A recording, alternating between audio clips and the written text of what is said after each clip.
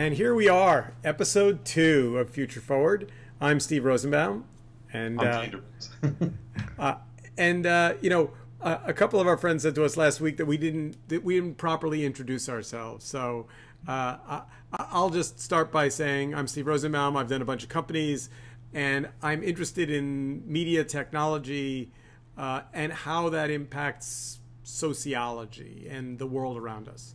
Gene.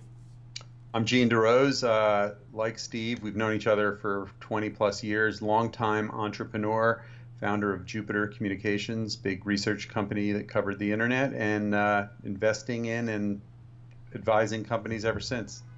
So we're, we're going to talk. We have three chapters in the show today, but we're going to start with some quick cuts. Um, Gene, you want you want to launch into our qu quick cut sequence?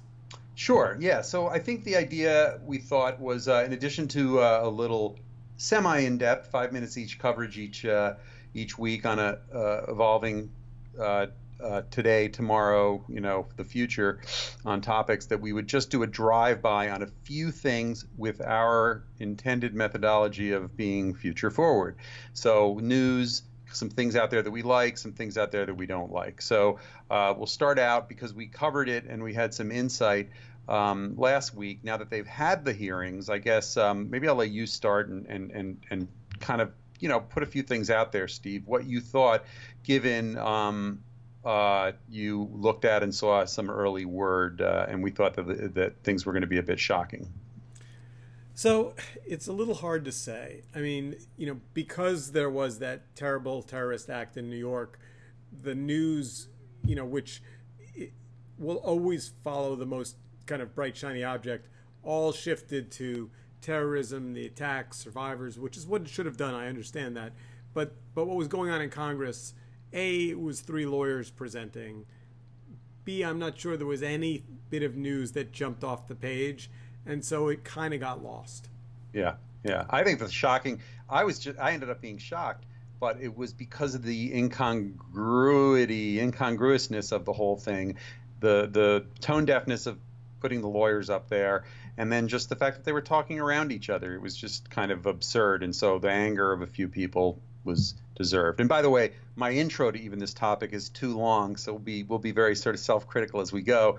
We wanted this to definitely be boom, boom, boom, but I like the way you uh, put that out there. So that's uh, that's enough for now, and we can cover it as we will a little bit later. So what I'd like to do because um, we see things all the time now is is let's play around with a with a with a, a little segment that is uh, uh, thumbs up thumbs down kind of but with a little depth uh, site or app or product you're liking right now and then we'll do uh, things you're really hating right now. So um, do you want to start with something that you're really uh, liking right now steve? Yeah that would be this guy right here. Oh there it is. Uh, you know um, you, you gotta love Apple. Uh, they did it. Uh, it's a great device. It's um, it's thinner than the Plus. It's sexy. It works. The face detection stuff is like second nature in 20 minutes. Uh, the missing home button, I couldn't care less. Big, big win. Right, right. Wow, that's great. Well, we knew we debated whether we would go in depth, and I think we thought we wanted to drive by on this. But after you play with it for a week, I think it'll be a good one to chew on next week. But it sure sounds like the the early word is good with a little footnote of they're going to force us to pay a thousand dollars. Yeah. What about you? yeah. So, um, I, what I have been uh, liking lately is I'm going to be a little uh, well. Well, I'll put it this way. I like where a couple of the news major news sites news presences are heading. And I guess in particular, I'd say I know we're going to be talking about Amazon later on video, but um, the Washington Post. I just think things are starting to uh, they're starting to get a grip on the medium. You know, large format. If you look at the Washington Post iPad app, it's it's beautiful and it's fun, and the combination of what they're doing with visibility and a, and a daringness to reposition themselves, and then I'll just throw in that the Times. Um, I think has done an incredible job with uh, this six or eight months of moving to, to, to podcasts every day. It's it's a really great touch, and it's uh, it's a really uh, a cool thing. So we'll be spending a lot more time on that. But I, I just those are some guys I like in particular. All right, uh, and, and, I'm gonna I'm gonna go last on the hate category. Yeah, I was just What's gonna your, say I yeah. could launch right into it because yeah. I think you may have heard some of this from me uh, in some of our uh, talks leading up to this. I have got a real angst about ESPN right now. And I know Disney's suffering and the ratings are suffering and they must be making cuts and everything, but I'm a big sports fan. I have my wonkish places I like things, but I'm also generic enough. And they are doing a terrible job. Their website is detailed and has a lot of stuff in it, but the minute you go to their mobile app, iPhone, iPad, it doesn't matter. The minute you try to deal with their bread and butter in the future, which should be their their live streaming. You can't find it. They're not servicing it anymore. I'm really worried. It's like they don't care and they're willing to just suffer through the cuts when that's their future business. Yeah, so I've got one that's like bur- burning a hole in the pit of my stomach. And it was funny because when you said earlier, hey, we should do what we like, what we don't like, I'm like, oh, I'm good on everything. I'm like, no, I'm actually not. Yeah. I am beyond pissed off at what happened to DNA Info and uh, and Gothamist. I'm just I think it's, it's just criminal, and I think that you know Ricketts' decision to shut it down after they unionized, like it's the definition of union busting. And and what I don't get, and here's the thing I don't get. I get that he's rich as Croesus and he doesn't care, but there's 115 journalists who he could have sold it right? I mean, theoretically, now maybe he tried to and he didn't get any buyers, but he didn't because I would have heard that.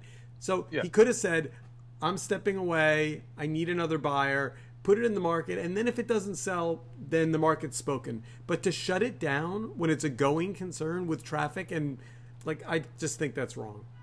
I, it doesn't make sense. There's got to be some little bit of untold story here, or maybe they had tried more than it seemed like at first, but it sure seemed abrupt and sad. And I think these guys don't realize how loyal and passionate some of the people, even if the businesses are suffering, are in some of the things they're doing. So it all sucks. All right, we're, that, that's our little quick take segment. Let's get into segment one because we got we got three big segments on this week's show, and yep. uh, let's start with the uh, the YouTube Amazon video Battle of the Titans because boy oh boy, you know I just um, didn't see that one coming. Well, or maybe I did.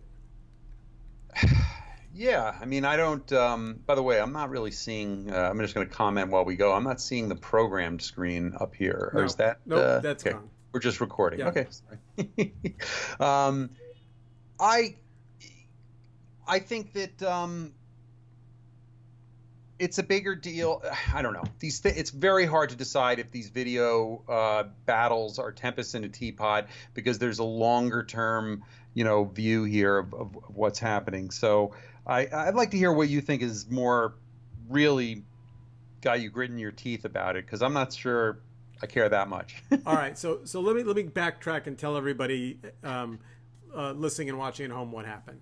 So um, Go- Amazon has this device called Amazon Echo Show. It's a it's like the Amazon Echo, but it's got a great big screen on it, big. I mean, the size of a paperback book and it's a pretty little device and it's got kind of a chat feature you can call your grandma on it it's kind of nifty um, everyone that i know that has one has been using it with great joy in the kitchen and using it as a cookbook going onto youtube finding a recipe listening to music and at the same time watching a video and, and cooking using the amazon uh, echo show uh, about six days ago um, google unceremoniously and without warning shuts off Amazon's access to YouTube. Amazon seems shocked by this. Uh, and Google says, well, you weren't living in the terms of our API. It's kind of a ham handed answer. Um, the, the gossip mill says that they've been talking about um, some kind of a royalty arrangement for uh, some time. Um, and they were unable to come to terms. Amazon wanted a piece of the ads that played. I don't even know exactly what happened, but it's clearly like the Battle of the Titans. But but for me, and why why this matters to me is so much of the web's video is now held by YouTube. Like such a large percentage of the web's particularly long tail video is held by YouTube that for Google to start to decide pejoratively who can have it and who can't, like it's kind of a big deal. And yeah. it's kind of creepy. Yeah. Well, I think it is and ironically the analogy is not direct, but it involves one of the parties. You know, it's sort of like the leverage that Amazon has been able to wield over book publishers. You know, they had such a dominant, you know, spot that they were basically forcing pricing and choice and, you know, uh, all these other issues. So I, I do think it is Amazon almost my point is Amazon probably has no right to really complain, but I do get that this is a real jousting and positioning. There's two big unknowns in this that are looming. One of which is, of course, Apple, um, and the other is um, is is Facebook, I think, um, and some of the other giants to a lesser extent. But but uh, I, you know, it's really it goes back to it reminds me of the the um, the hearings. You know, suddenly calling, are you a platform or are you a delivery channel? You know, YouTube has not. You know, they have a kind of a flat API, which is to say you can do millions and millions of things writing around them, but it's basically off of a basic feed of their basic service. So you can't do a lot of really nifty things. So that's always both surprised me. I don't know. It's just. Uh, it's hard to know what the where the next dire- direction they would go with that. A lot of what um, Amazon and Apple go to with Siri and um, Alexa is is Google searches when all else fails. So maybe that's next. You know, uh, you know, one of the things I think we ought to say out loud, just to ring a little bit of an alarm bell here, is what you're seeing is, you know, the the the real battle of clo- closed web versus open web. Yep. And you know, if at the end of the day your living room is going to have one owner and it's either going to be Apple or it's going to be Google or it's going to be Amazon and they are going to use that ownership of your living room with with great, you know, kind of competitive advantage and no sense of openness. You know, you know, one of the things that the rumor mill said about why Google pulled its videos off of Amazon Echo, you know, Echo Show is they're going to build their own Google Home show and they want those videos to be one of the special things you get if you have the Google Home device as opposed to the Amazon Echo device. And I'm like, I just don't like it makes me feel icky that they're like willing to kind of battle yeah. over my entire engagement. Yeah, and, and honestly, you know what it is? It's it's it's you would think that that the future version of the home, the evolving future version of the home is is open in the sense that everything's networked together, everything's kind of um, you know uh, internet anchored and APIs. Um, and what we're not going to do is redo the same problem that slowed down television for 30 or 40 years, right? That's a closed system. You only go through your carrier and the TV set top, and it's still an issue that's basically about to start to explode even more with all the Netflixes and everyone else in the world. But it's the same kind of thing. But the minute it's about home control, you know, the Nest acquisitions and other kind of things are stepping into the, the fray here. So it's hard to. Um, I have a little gripe about Sonos, honestly, on this, and I know we can move on to the next topic, but it's a similar kind of thing. You know, it's it's a wonderful capability, but it's not open enough. But I don't blame them. Uh, you know, honestly, if I were the Sonos CEO, I don't think I'd be getting a night's sleep for the last six months. No, so. well, you know why? It's like it's it's it's. We used to talk about being Amazon when you would be displaced, and and the new thing, if you have a, an early start on a technology area, is like you'd get TiVoed, right? Blazing a trail and just getting dusted because, you know, they had no leverage and they didn't uh, have enough love from people. All right, Se- segment number two uh, segment number two, near and dear to my heart. We are, in fact, going to try and wrap our arms around fake news. Yep. Yep. Now, let me start by telling a little bit of a story. So, um, when I joined the TED residency, uh, applied in November of last year and started in February, my my TED talk, my my research project uh, there for three and a half, four months was on fake news and I talked to 50 people, had amazing conversations, learned a lot, understood the complexity in ways I hadn't before, and then had to boil that learning, that big, massive, horny problem, down into six minutes. Which was the TED residency talk length. There were 23 of us. We all had six minute talks. Um, it was so hard. It was so painful. It was so um, difficult. A- and it was difficult because it's not a little issue, right? It's a big issue. And and you want to say something that's relevant and thoughtful and timely and actionable, but not just pablum like, you know, hey, right. fake news is bad. Yeah. well, look, your talk was great though, and I don't know. It, it, you know, in a perfect world, we could give a little couple of clips from it because I, I, really think that you you did a good job of being really big picture and cobbling all that together, but have being hard hitting with totally tantalizing thesis. I think you should uh, let's share let, it so we can you know. let's. I'll, I'll, play a clip now. I've, got, I've got it queued up, so let's let's play let's play a clip. Here we go. Studios, trucks, devices, only the rich could produce television. Now, my guess is that many of you are streaming live on Facebook right now. And finally, print. Used to require printing presses and physical devices, but now it lives in the sky above us in the cloud. So, what's changed? Today, the tools are democratized. Consumers are makers, and information is abundant. So these are all good things, right? Well, the answer is sort of, because anything that we can't seem to find context around, we simply label as fake.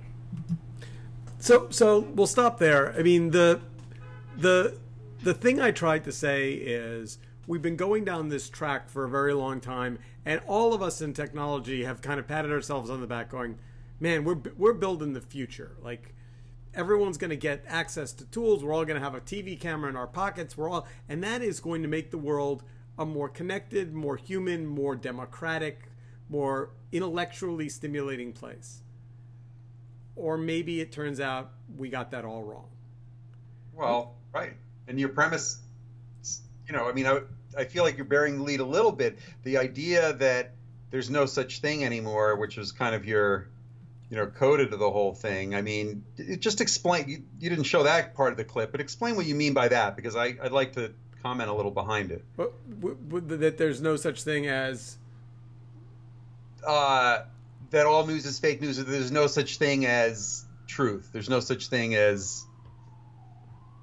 I mean, the the you know basically you know in a world of infinite voices and infinite sources, the idea that there's black and white and that there's absolute truth and there's absolute fake gets lost in well you know i mean in a sense it's what's come out of this white house which is you know well you know you know you know you have your truth and we have our truth.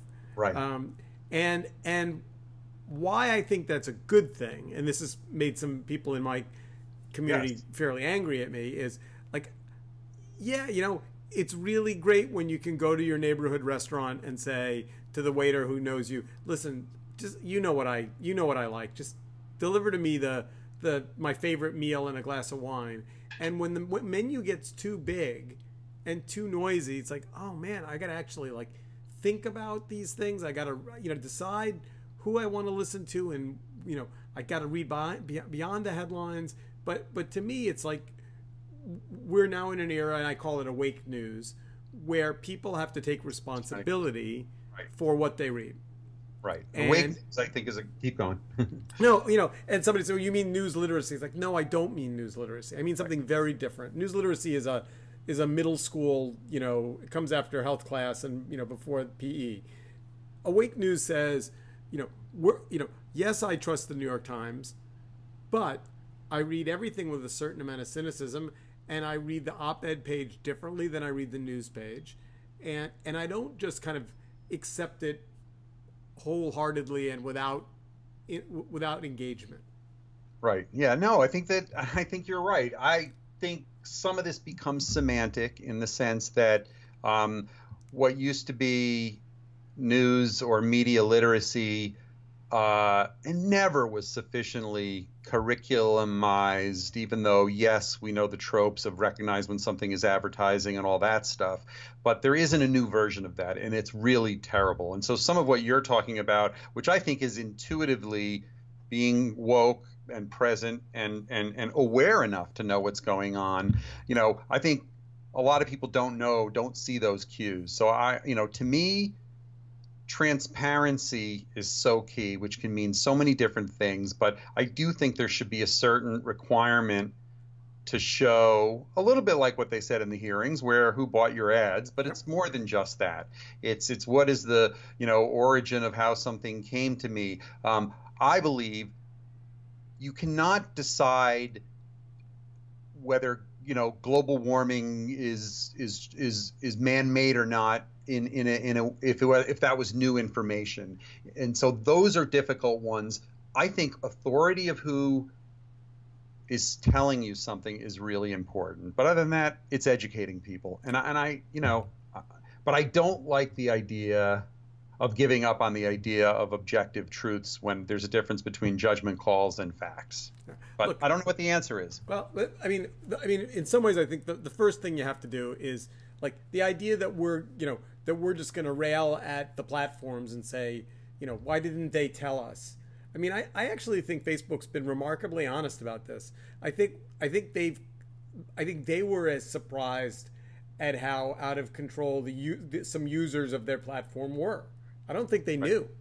Right, right. And by the way, just as an interjection, I will refuse to call them platforms because that is a fabrication of their own and a very recent one, which is narrowly about putting themselves in a in a legal and defensible uh, uh, PR position. It's like we run the printing presses. You know, yeah. you know. I'm going to call these guys what they are. Facebook's a social network that now, has, you know, uh, uh, Google is in many you know, tethered, whatever. Twitter is a social network slash, you know, uh, personal publishing platform. But anyway, it's just a hang up I have. No, no, no. Look, by the way, I, I, all, all I'll say is this.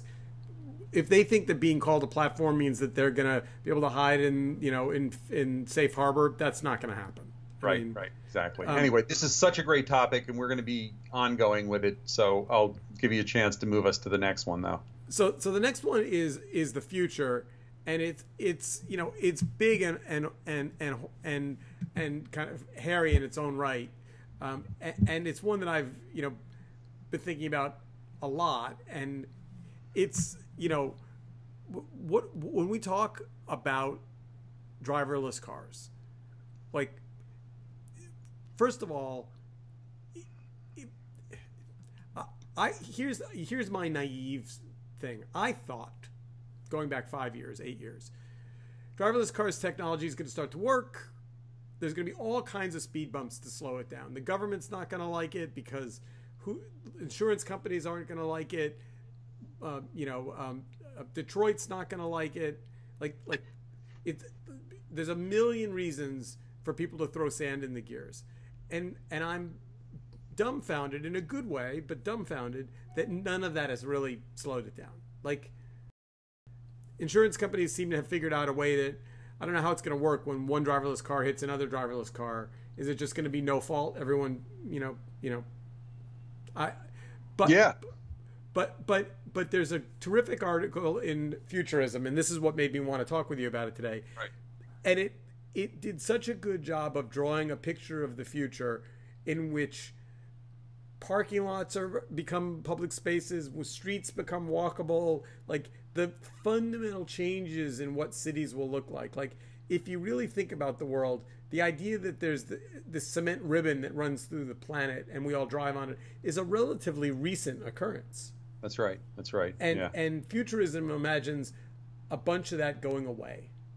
Yeah. I mean, this is a this is an exciting topic because it is such a futurist bit of subject matter where we can see the inevitable future. We can see the five years ahead, um, uh, quantum leap changes or improvements. And there is so much, and it is so uh, filled with signal to noise issue for consumers because because we don't see the amount of money to be saved or made or the opportunities when things are massively scaled that will lead some of these changes to happen so fast right? The things that you know this is like um, erie canal level stuff right? Changes the entire future of transportation opens up the world. There are things that are you know so all the blocking and tackling in the near term it's it's crazy because all we think of is how could it possibly be safe anytime soon, right? It just can't be. But our minds socially are just completely wrapped up in that and the danger and the accidents. But the minute I saw, I think was it um, a couple of different cities now are, are working on driverless you know uh, the tunnels that'll go underground where you just put your cars on it and boom you know you go 200 miles an hour I forget what those are called but um, it's it's that, it's Elon Musk's company and he calls it with appropriate irony the boring company Oh right, yeah, right, exactly. But he has, you know, there's two different uh, one mile stretches in different city right. uh, areas where they're testing parts of it. But that feels like a no brainer to me, and it also wakes you up to how different something can be because that sure seems like let's have channels everywhere, right? But like put them on a 200 mile an hour uh, jetty. Now, now, now, now, let's just get to the dark part because this is the part that has me up at night, which is like when you look at the number of people that make their living driving vehicles, truck drivers, delivery drivers, Uber drivers, you know, ambulance drivers, the list goes on and on and on, and you realize that everybody whose basic economic livelihood is based on sitting behind the wheel and moving a vehicle around. Like these these people are not going to have jobs. Yeah, no, this is a big issue, and I think about this the way I do with kind of both original information worker transitions. Um, and the closing of auto plants and things like this. And you know, I'm I'm as I'm as progressive and liberal as anyone, but it is a classic area where if you look at this from a tech and inevitability and the improvement of lives and efficiency, there's nothing I would say to slow that down for those poor people that might lose their jobs. It's more a question of what should the transition look like? How do you retrain populations? How do you get people to be part of this? Because it isn't about protecting those jobs. It, it can't be. I mean, if it is, it's going to be you know, uh, partisan politics nonsense in the near term. So I, mean, I feel sorry for them, but but it is also something that um, you know, there are many many ways. I mean, let's face it, Uber has expanded in a way the employment opportunities and diversified the things you could do. Um, and I guess that's probably short term relative to the big picture of um, losing truck drivers, but but, but, but, but I'm going to push back on, on something you said because I think it's it's really easy to just say sitting in our comfy homes, you know, retrain them. But like if you like seriously, if you're a 54 year old truck driver, what are you going to be retrained to do? Like you're uh, not look, you're not going to yeah. make microchips. Yeah, and I shouldn't. I don't mean to speak lightly of it because I don't. When I say retrain. I mean, I'm not sure of the answer to that one or what the right way to do it is, but I do feel like um, these are these are longer, more general, slow-moving versions of the absurdity of trying to protect coal worker jobs right now. You know, I mean, it's just sad. I mean, but what do you do? You have to figure out how to manage through it. So, so by the way, that's a that's a great place to leave this on. If, if you actually think that the trajectory of employment for dri- drivers of vehicles is is on the same similar trajectory as coal workers. I mean, well, no, be, I didn't say that. Well, no, no, no, no, no, no. I, am putting words in your mouth on purpose because right, that's a right. good headline, and I'll steal it. Yeah, and there's inevitability behind these things that you know, like I'm not on the libertarian side, you know, of tech, and we can tee this one up for the future because maybe the the the Peeves thing could also have to do with uh, yeah. people or startups. But I, I, I I'm, you know, I'm not a libertarian in that sense at all. So uh, don't don't take me at that one. That's the, the way, West. Here, here's the here's the one that I, that has me scratching my head. So you've got a driverless car driving down the street, and um, and a, a senior citizen steps out in front of the vehicle. The vehicle, it's too close to stop. They're going to have to swerve to not hit this senior citizen. And there on the sidewalk is a kindergarten class. You have to have computer programming in that device that's making moral decisions about who the vehicle's going to injure. Like that's real. Like that's really chilling. I, completely agree. I, I don't. I don't understand how that's going to be possible anytime soon. That's why I leaped over to the to the boring version. well, but, but but here but here's the answer. You know, not that I think this is a good thing, but you know, I mean, insurance companies, you know, have actuarial tables right now that tell you, you know, they they can calculate if you, God forbid, were killed in a car accident. You know, they can calculate your age and your income and your lifespan. They have a they have they already have existing actuarial tables to say you know what the balance of your life would be worth in an insurance settlement. Now it's gruesome stuff, but that you know those those tables could be in a sense, and I assume they are already being looked at as part of you know who's you know what how the how the algorithm decides you know you know to make a judgment about you know a dog versus a person. Yeah, yeah. I, well, just one footnote, and I know we're we're wrapping up, but but I don't think we can forget in the world of driverless automotive and all that other stuff how the sort of the Trojan horse that affects all of that stuff are um, electric cars and just bringing tech to cars in general. And so, you know, Tesla and the like, you know, this is less just about this pure industrial issue of transitioning automotive to being driverless as much as it is um, who's going to have the leverage to, to make the decisions and, and what will driverless riding be riding on, as it were. And I think it's going to be electric and, and low energy vehicles uh, uh, as a leader. We are out of time. Uh, listeners, viewers, we would love to hear from you.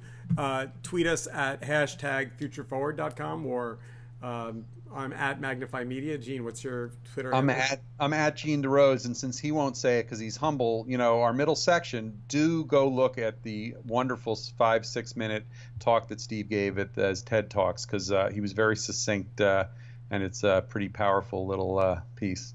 Thank you very much. Uh, excellent uh, show. Uh, high five. See you high next five. week. Yep. So long. Bye, Steve.